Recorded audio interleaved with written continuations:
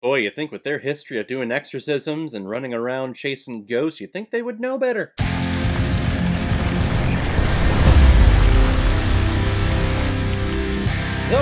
Conjuring The devil made me do it! released in theaters and on HBO Max in 2021 and is directed by Michael Chaves, who has also directed such films like Worst Date Ever, Regan, and The Curse of Lolaloria. And this film is starring again Patrick Wilson and Vera Farmiga, returning to the roles of Ed and Lorraine Warren, who are real-life ghost hunter exorciser demonologists whose real life tales in their book The Demonologist would make you crawl into a corner. It's that scary. Does that translate to this movie?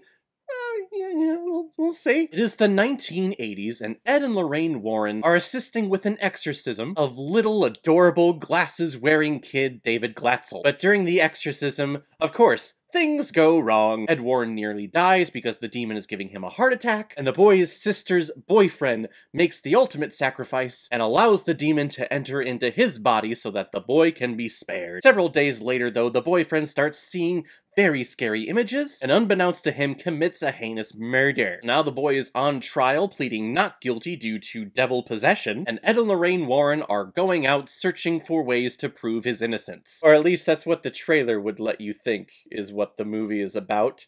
Yes, they kind of mention that, but then that whole courtroom aspect kind of getting it into law where the law of this country admits to the existence of the devil gets put to the wayside, and then we just go into a generic Ed and Lorraine Conjuring tale. Now, I first watched the Conjuring films last year, actually, and those things I think are terrifying. In particular, the first one. There were some images in there, some jump scares that had me jumping out of my seat I think they're absolutely terrifying. And then when we go to Conjuring 2, I'm introduced to the idea of CGI darkness, to where you look over into a corner, and you know in real life that there's no way that that corner is so, so dark, and everything else is so well lit, even though it is a little bit dim, everything else is so well lit, and it's just so freaking dark in that corner, because something's gonna jump out at you. And then moving on to Conjuring 3, James Wan decided not to direct this one and hand over the reins to someone else, which I think is a good idea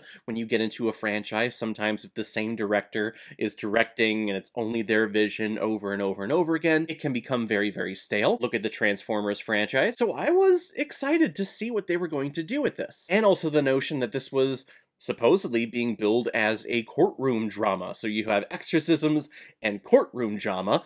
I mean, that's going to be the best movie since Ghostbusters 2. What we get, though, sadly, is a very formulaic paint by numbers. This is kind of the same thing that we've seen in the previous Conjuring films. I really hate saying that because The Conjuring is one of those franchises that has helped me get into the horror genre more over the last year. That and my partnership with GingerNutsOfHorror.com, which they give me screenings on all these mainstream horror films, independent horror films, and you get a nice variety of bad quality and good quality horror films. The Conjuring I thought was near the top of that list. And I don't mean to say that this film is terrible because it's it's not. If this is your first Conjuring film that you are watching, I think you would enjoy it way more than I did. But because this is my third viewing, I haven't seen any of the Annabelle films or The Nun or Loria or Lolora whatever that film is called as part of this universe too. I haven't seen any of those spin-offs, I just want to stick with the Warrens. But we have the same beats in this film from the previous two installments. They get called on a case, and they start doing the preliminary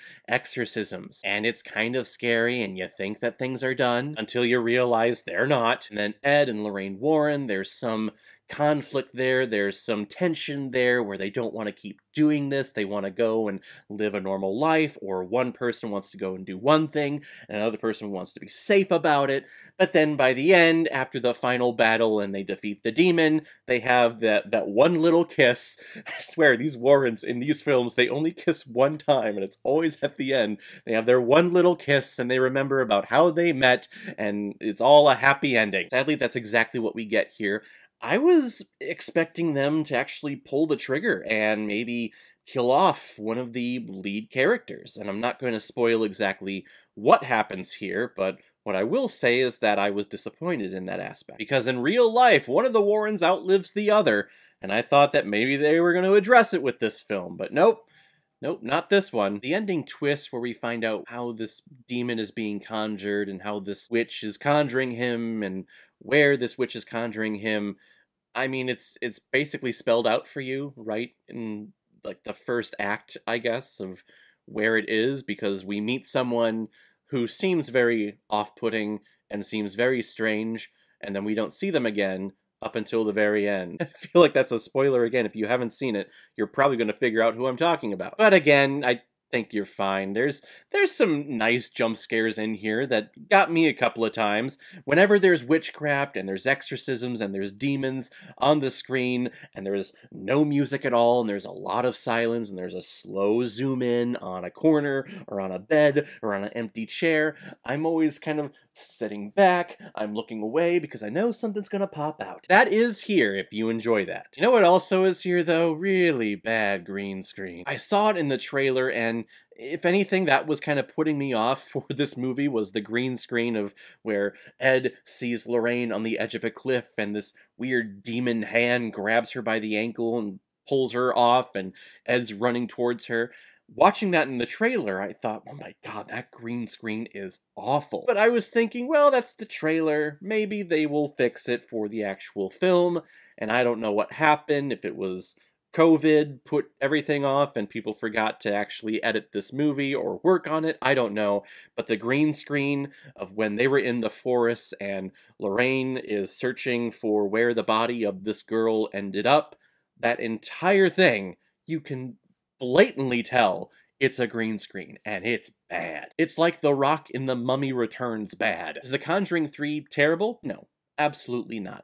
We get again, really good chemistry between Patrick Wilson and Vera Farmiga.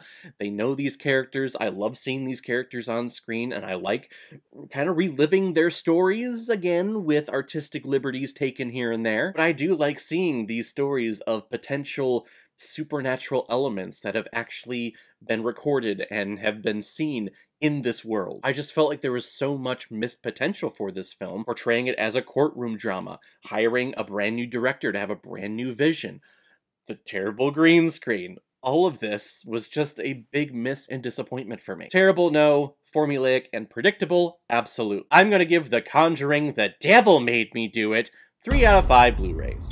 Not exactly what I had in mind, but not bad. Alright everyone, now comes my favorite part of my videos where I randomly select which movie I'm going to be watching next, so let's take a look.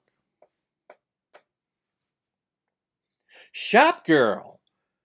Ooh, Shopgirl. The woman with all the gloves and all of the shopping. Based on a book written by Steve Martin, I think, I know he stars in this movie. He plays the older gentleman that she uh, has I guess, well, I guess it's not an affair, but just has a relationship with. But I think he also directed the thing. I could be wrong on that, but I'm pretty sure. I've only seen this once. My wife is a huge Steve Martin fan, at least in a literary sense. I like him from his comedies, from SNL, and a couple of the plays he's written. And this one, I think, from what I remember, it's a pretty good romantic comedy. Kind of strange here and there, and a little long-winded from what I remember, but Again, I've only seen this once, so we'll check it out next time. If any of you have recommendations of films that you want me to review on here, you can make a PayPal donation on the main page of my YouTube channel. Any size donation will do, just attach your movie recommendation with your donation, and if I have access to it, I will watch it, review it, give you a shout on the channel, and get my review of it published as quickly as I possibly can. So guys, have you seen The Conjuring The Devil Made Me Do It? What did you think about it? Where does it rank in all of the Conjuring universe films that you have seen. Whatever you thought, comment below, let me know what you thought about it. And as always, if you like what you see here, if you like my take on movies, then hit the subscribe button, make sure you hit that bell, see you on the next time I'm release my next movie review. So guys, I will see you next time with my review of Shopgirl. So in the meantime, be well, be good to each other, and go watch a movie. Take care, guys.